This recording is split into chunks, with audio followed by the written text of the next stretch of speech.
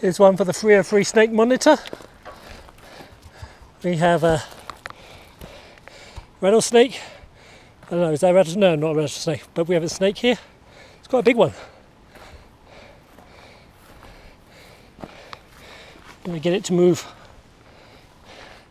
Shoo! Shoe snake. there he goes.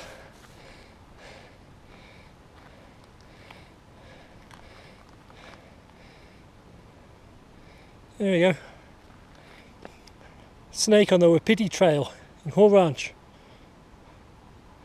This is going to cause the 303 trail monitor to freak out. They love their snakes. This I'd say is about three, three and a half foot long.